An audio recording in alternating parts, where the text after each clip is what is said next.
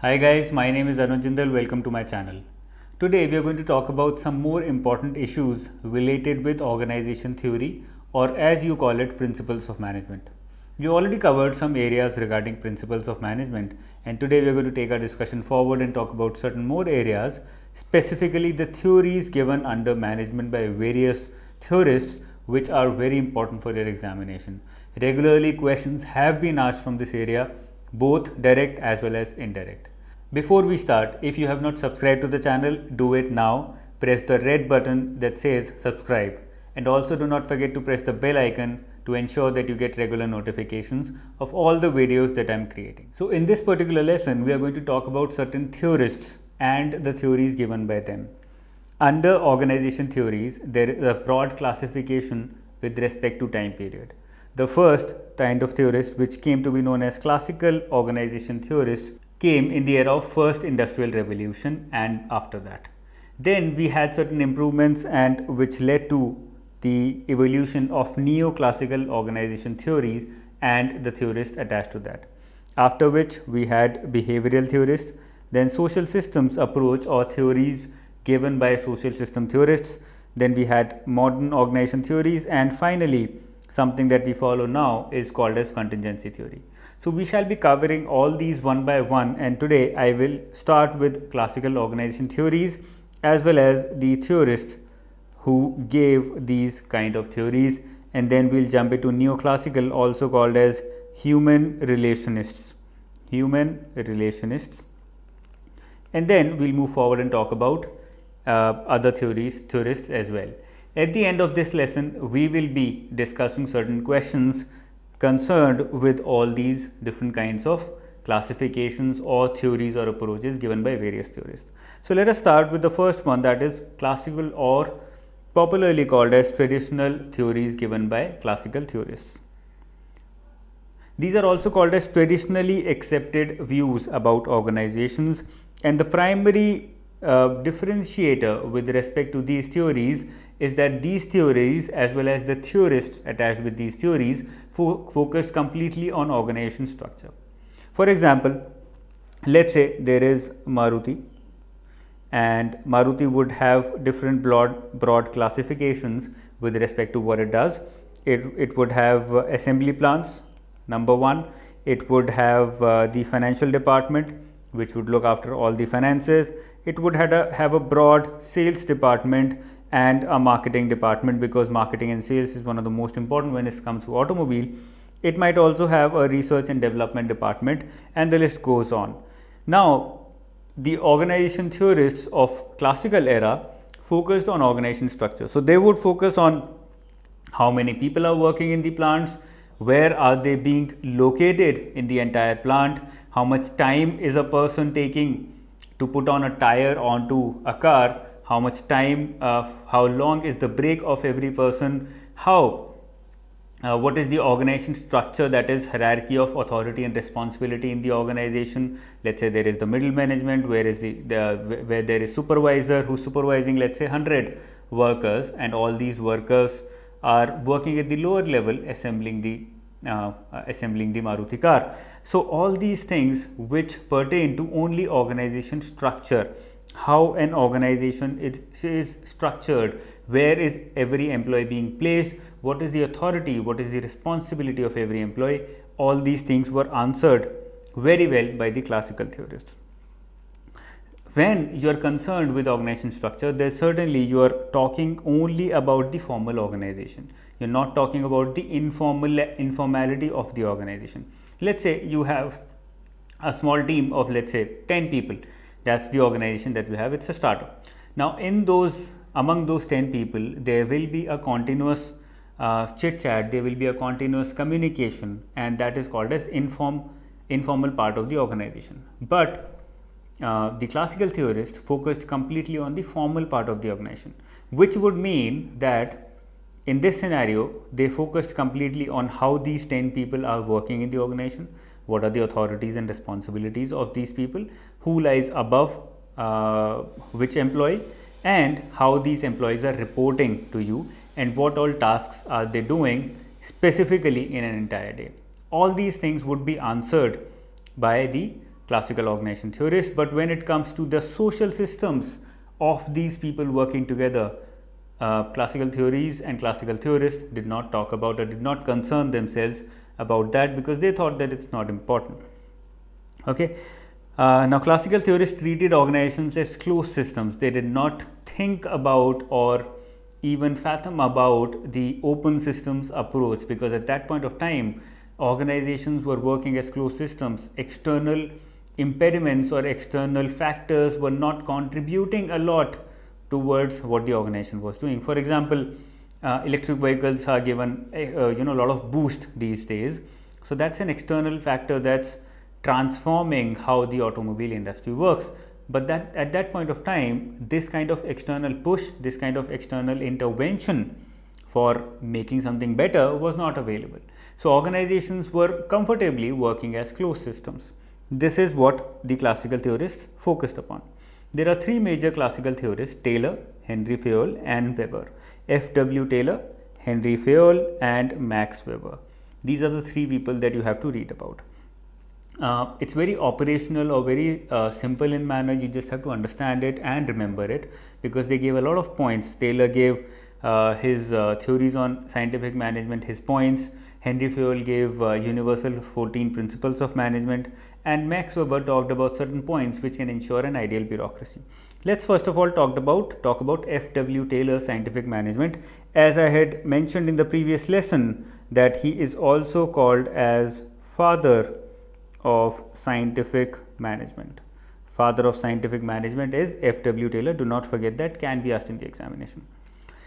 Now, as I said, the impetus to come out with scientific theories on management came about after or from the first industrial revolution because of sudden expansion of industrial houses in the country or in the entire world. Uh, in 1910, he came out with a new movement which was called as scientific management, and that is how he gained the name of father of scientific management. Now, he gave certain principles which are important. From these principles only, questions are going to be asked in the examination. Number one, he said science not rule of thumb which simply means that what has happened in the past might not happen again in the future.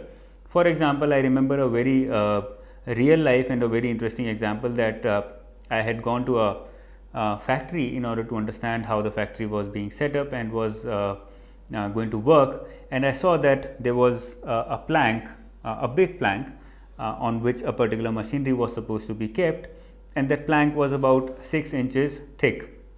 Now, as per the blueprint, the plank should have been 12 inches thick. So, according to the uh, engineers, the plank should have been 12 inches thick, but it was only 6 inches. When I talked to the owner and the engineers working actually on the ground, they said that they've worked uh, with these kind of machines in the past and 6 inches thick plank actually takes the load.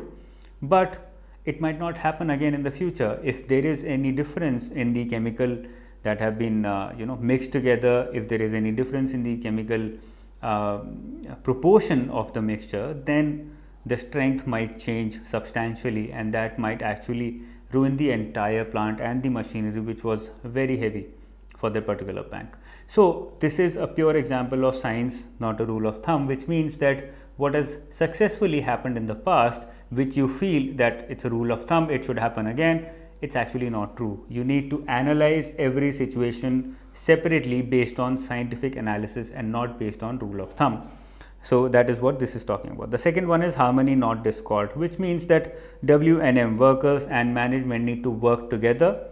They should not be in a discord, they should not be fighting with each other. If there is any conflict between the two, the organization as a whole is going to suffer. So workers as well as management need to work together there should be harmony among the workers. When can that harmony actually take place? When there is equality in the work being given to management as well as being given to the workers.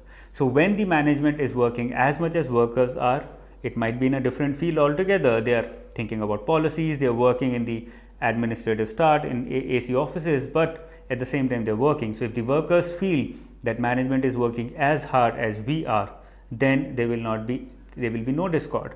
So, equal division of work between management and workmen will actually give rise to harmony and there will be no discord. So, the answer of second has been provided in third. Mental revolution.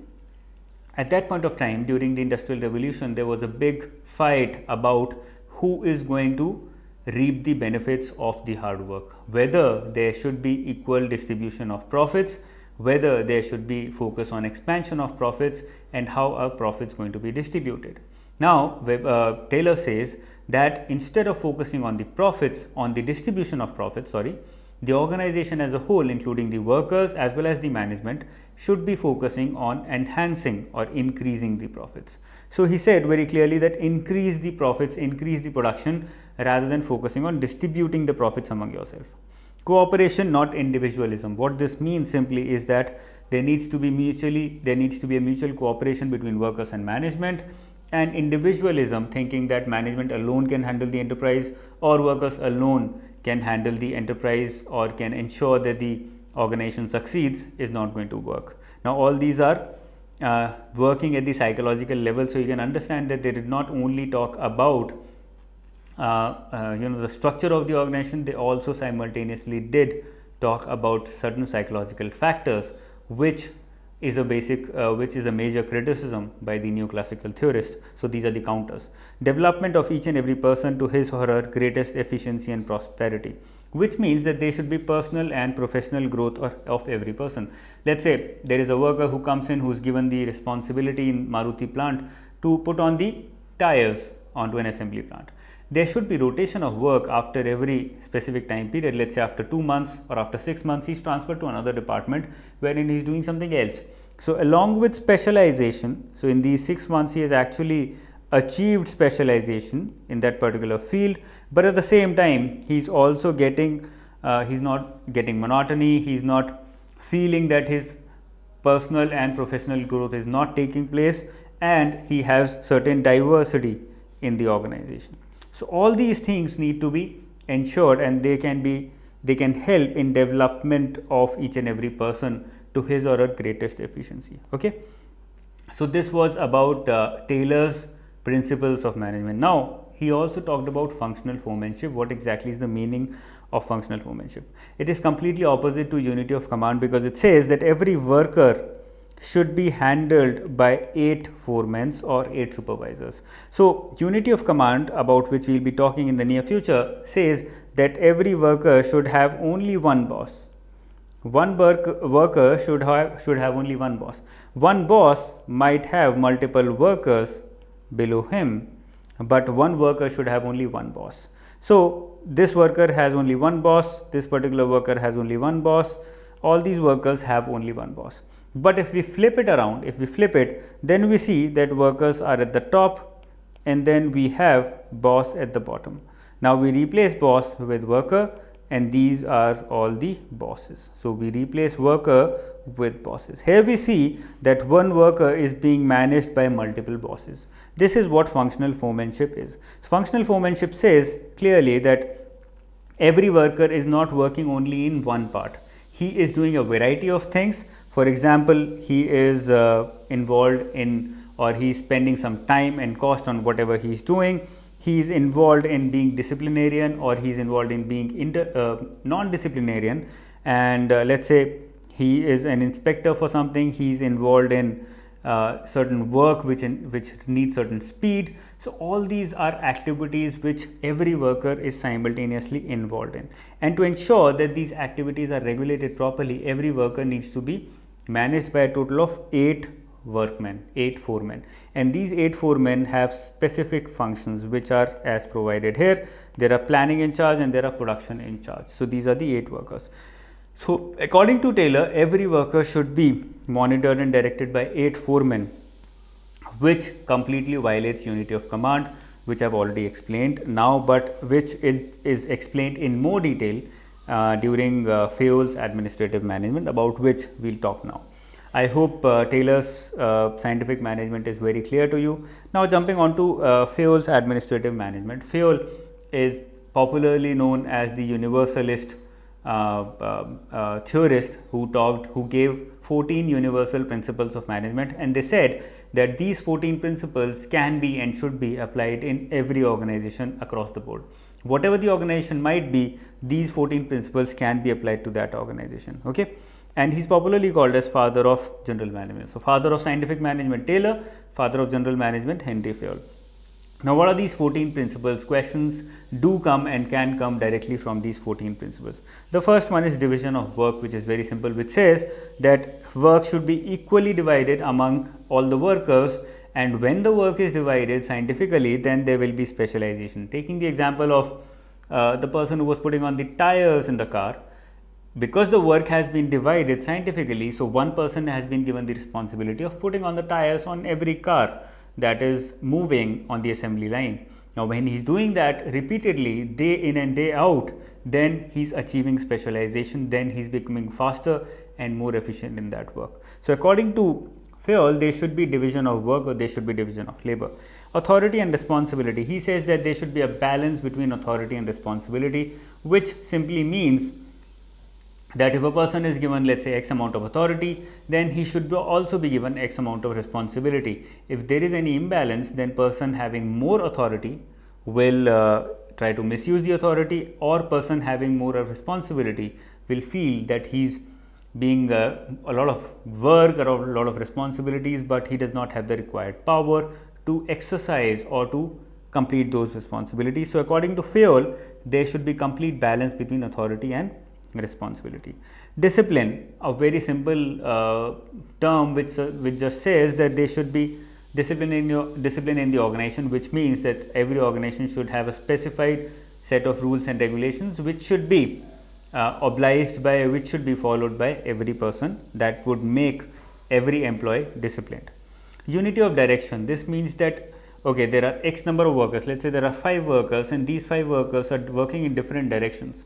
Worker one says that i want to uh, you know learn some more of finance because i want to get into financial field but the work has, that he's doing in the organization is basically related to hr person y says that he wants to learn some more marketing but he's actually his responsibility is to look after finances in the organization. So, there is no unity of direction which means that a worker should be doing what he is supposed to be doing in the organization. And the ultimate objective which is gaining more wealth for the organization or growth of the organization should be the primary objective okay? Integration of goals of subunits towards organization goal. So in this case either the person either person x let go of finance and focuses on hr or he is transferred from HR to finance so that there is sync between his personal goals and the organization goals. Unity of command, opposite to functional foremanship, it says that there should be only one boss uh, uh, uh, for one worker.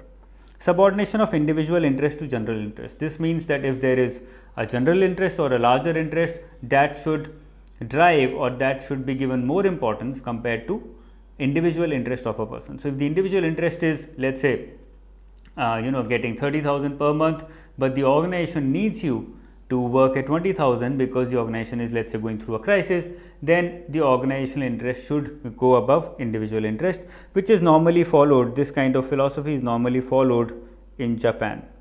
In Japan, American companies have not been able to follow this kind of philosophy.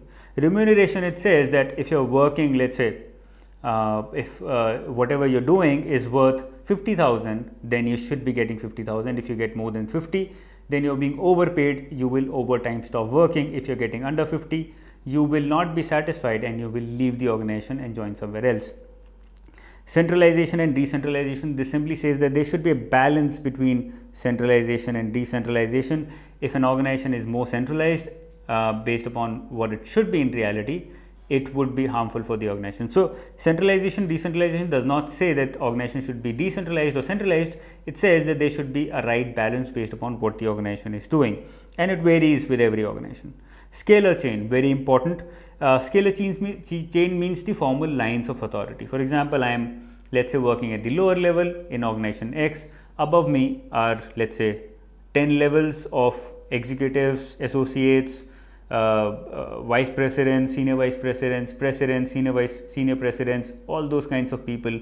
So this is a there is a chain of authority and responsibility. Here D is uh, responsible to C, C is responsible to B, B is responsible or answerable to A. So this is an authority responsibility chain that has been created which should be followed in the organization and if you want to break it then you have to go through gangplank which means that if D wants to connect with G instead of going through this entire chain of connecting with C, C connecting with B, B connecting with A, A going over to E, E to F and F to G which will take a lot of time, lot of effort and uh, will might defeat the purpose of the communication.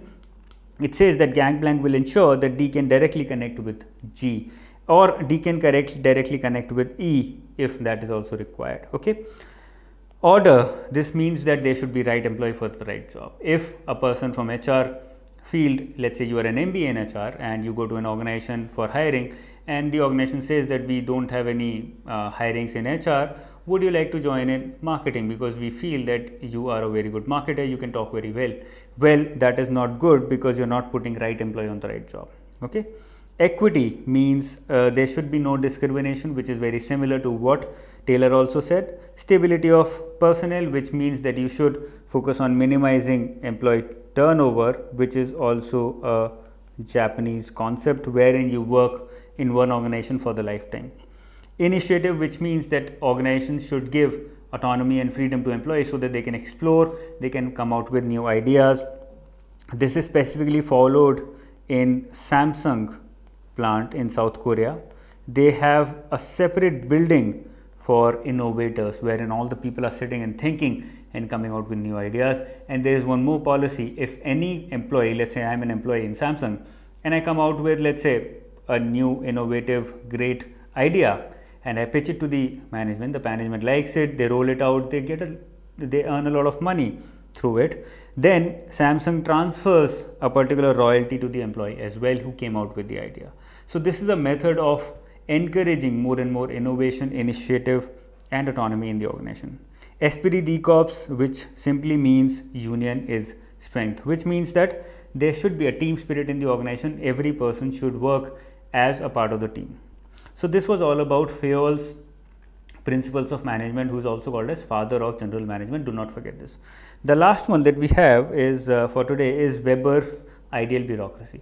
He basically said that there is an ideal bureaucracy which encompasses or covers everything that a bureaucracy should look like. And he gave out certain principles or characteristics which would ensure that bureaucracy or administration as you can say in general terms is ideal close to ideal or it is near perfect. Number one division of work. According to this there should be clear division of work in the organization. So number one is d. Then you have hierarchy of authority which means that there should be a clearly laid down hierarchy of authority responsibility so that uh, there is no confusion among the workers as to who they have to report to. This goes against uh, modern organizations which do not believe in hierarchy of authority. Rules and regulations, um, you would be aware if you sync it with or if you uh, think about the Indian bureaucracy or how Indian administration works presently, this actually fits perfectly. So there is division of work, there is a strong hierarchy of authority, there are strong sets of rules and regulations, impersonal conduct which means indifference, which clearly means or simply means that he should not be emotionally connected with the work has, uh, uh, that he is doing.